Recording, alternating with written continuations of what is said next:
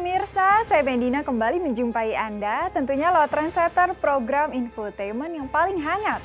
Orisinil dan terpercaya, Hotshot. Bukan Hotshot jika tanpa berita terhangat. Untuk itu jangan ke mana-mana pemirsa, tetap saksikan Hotshot selama satu jam ke depan, sebab Hotshot selalu menguak sisi lain di balik berita dan fenomena.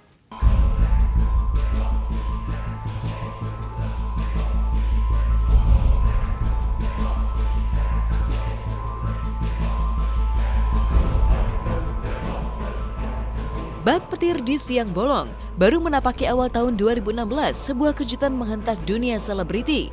Pasalnya tak ada angin, tak ada hujan, tiba-tiba saja Vanessa Angel kekasih Didi Mardika dikabarkan telah digerebek oleh kepolisian Polres Jakarta Selatan pada malam tahun baru 2016. Konon tertangkap tangan mengkonsumsi narkoba. Apa yang sebenarnya terjadi? Mungkinkah Vanessa yang sempat mengalami pasang surut berat badan secara cepat terlibat barang haram? Tanda tanya ini kian mendulang misteri karena jika pihak Polres Jakarta Selatan tak mampu membenarkan kabar penangkapan Vanessa Angel, maka lain halnya dengan pihak Vanessa dan Didi. Pasalnya alih-alih membantah secara langsung, Vanessa hanya mewakilkan dirinya kepada sang pengacara Denny Lubis dan hanya bisa dihubungi lewat telepon menyisakan tanya. Mungkinkah Vanessa sengaja menyembunyikan diri karena takut menghadapi isu penggerebekan narkoba sehingga hanya berani menghadapi publik lewat telepon yang digagas oleh sang pengacara?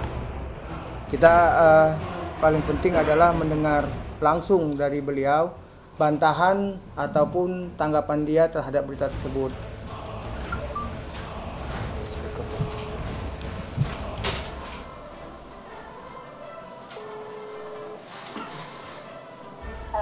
Assalamualaikum Mimi. Nah, Bang Denny Lubis. Ah, ah, ini kan ada berita Mimi. Mimi di mana ini posisi? Ini mau jalan sih ke Plaza Senayan. Ah, ah, jadi ada berita tentang Mimi ditangkap di Polres Jakarta Selatan. Ini kawan-kawan mau dengar langsung. Sim ah, ini aku speakernya Mimi ya. Ah, sampaikan aja salam mereka ya. Enggak lah, bener apa? Kalau misalnya bener kan saya udah kantor polisi, bukan di luar. Tahun di mana, Mbak? tau- tahun baru di mana? Tahun baru. Iya. Tahun baru di rumah aja mas. Kemarin aku sakit. Dan Sementara ini Polres Jakarta Selatan belum ada penangkapan yang namanya Vanessa Angel.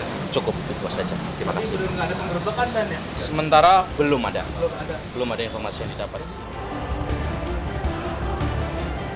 Apa gerangan yang terjadi pada malam tahun baru 2016 lalu sehingga Vanessa Angel tiba-tiba saja diguncang isu digerebek gara-gara narkoba? Uniknya berhasil ditemui secara eksklusif oleh tim Hotshot, Vanessa yang ditemani Didi Mardika sang kekasih justru mengurai sebuah versi yang mengejutkan bahwa jangankan digerebek, Vanessa justru tak bisa menikmati euforia kemeriahan tahun baru karena diserang sakit.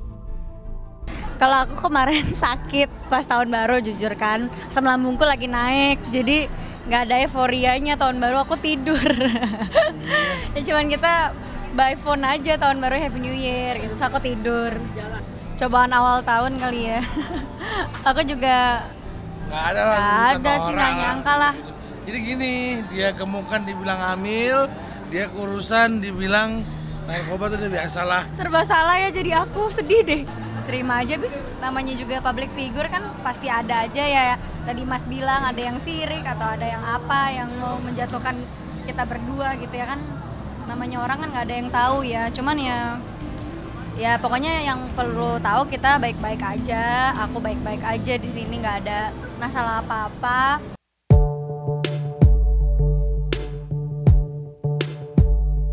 Mau tak mau, sebuah teka-teki pun mencuat. Bertubi-tubi menuai terpaan isu yang mengejutkan mulai dari rumor hamil, hingga kini Vanessa pun dikabarkan digerebek polisi. Gara-gara narkoba pada malam tahun baru 2016 lalu, mungkinkah ada pihak yang sengaja ingin mengusik Vanessa Angel? Entahlah. Yang jelas bak anjing menggonggong kafila berlalu, alih-alih terbakar emosi, Vanessa dan Didi justru memilih untuk tidak menanggapi rumor yang tengah mengusik hubungan mereka karena tengah fokus mempersiapkan pernikahan yang ternyata akan digelar di tahun 2016 ini. Uniknya, Didi yang selama ini merahasiakan tanggal pernikahannya untuk memberikan kejutan manis kepada Angel, baru pertama kali ini menguak ihwal persiapan pernikahannya eksklusif di hadapan tim Hotshot, sehingga sukses membuat Vanessa terkaget-kaget seperti berikut ini. Kita berdua lagi fokus apa namanya untuk ini ya rencana pernikahan. Jadi nggak mau ada keganggu masalah-masalah yang lain kayak gosip-gosip yang nggak nggak bener gitu-gitu emang sengaja kita nggak mau tanggapin karena kita berdua lagi fokus untuk uh, pernikahan gitu loh. Ya kadang-kadang kan Ada aja ada yang aja ya orang sirik atau apa itu uh, ya sering lah ganggu-ganggu kayak gitu-gitu kita nggak tanggapin karena kita benar-benar lagi fokus untuk kita berdua ke pernikahan gitu. Gue kasih tahu ya dalam waktu sangat dekat ini, dah gitu pokoknya deket deh. Bismillah. Baru tahu. Ini karena karena Mas Didi baru kasih tahu jadi deg-degan. Gara-gara lu. Tuh kan deg-degan. Keluarga besar aku pasti aku bakal kasih tahu kalau udah udah tahu. dekat. Insya Allah ada ada beberapa ada, ada, ada yang tahu gitu. Cuman dia doang yang nggak tahu.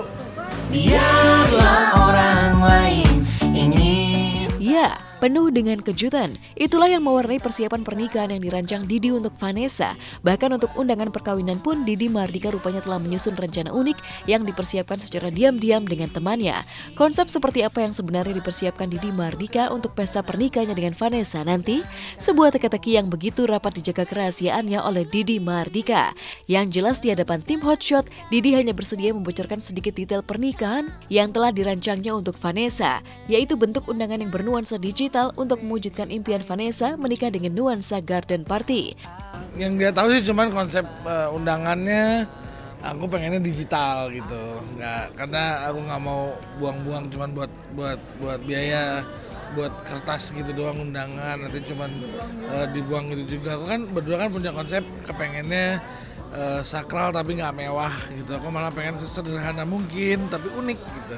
Uh, ini yang aku tahu keinginannya dia bener apa enggak nanti. Itu surprise nya gitu. Sih, nggak tahu tadi ya. dia sering ngomong kan.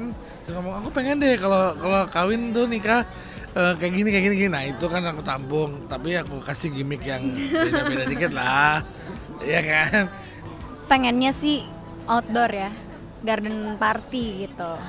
Terus ngundangnya juga orang-orang deket, nggak terlalu banyak tamu. Pengennya tuh yang sakral, ngundangnya teman-teman deket aja tapi apa eh, bener-bener apa ya intim gitu satu sama lain gitu, nggak kayak cuman datang terus nggak kenal siapa.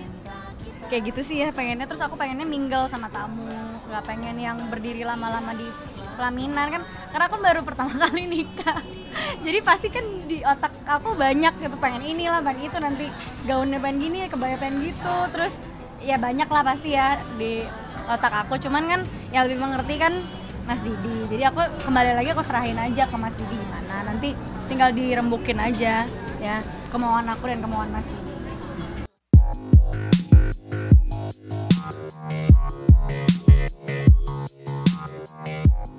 Mengintip sejenak rencana pernikahan yang khusus dirancang Didi untuk Vanessa, tak pelak sebuah tanya pun mencuat. Menikah dengan selebriti, mungkinkah Didi tengah menyusun pesta pernikahan yang unik lain dari yang lain sehingga menyedot budget mewah? Masih menjadi teka-teki yang begitu lihai dirahasiakan oleh Didi Mardika untuk dibuka jelang hari H pernikahan nanti. Yang pasti seolah ingin mengungkapkan niatnya bahwa Vanessa Angel bakal menjadi istri kedua sekaligus terakhir dalam hidupnya. Didi pun merancang bulan madu istimewa untuk rumah tangga baru mereka, yaitu sebuah bulan madu di hotel bawah laut yang terkenal di Dubai, Timur Tengah. Enggak, enggak mewah. Kita sakral unik, sederhana. Sangat sederhana terlihat, sederhana banget kok. Aku juga takut sih kalau mewah-mewah, tapi nanti ujung-ujungnya divorce juga kan malu Ya ya. juga nggak punya duitnya juga, mewah-mewah. Bulan madunya kan pengennya sih pengen ke Dubai. Pengen banget pengen lihat sana aja gitu. Oh, iya, hotel bawah laut. Aku sih ke mana aja selongnya sama dia, aku Kan happy. kepengennya ya kan. Kepengennya. Insya Allah Tuhan ngasih ya nggak kesempatan untuk aku ke sana lah. Karena aku pengennya Bismillahirrahmanirrahim pernikahan aku yang ini aku nggak mau gagal lagi. Aku mau ini adalah yang terakhir dalam hidup aku gitu. Usai sudah sampai di sini berdiri melabuhkan asmara. Menyambut awal 2016, jajaran selebriti seolah berbondong-bondong meretas liburan unik non fantastis di luar negeri.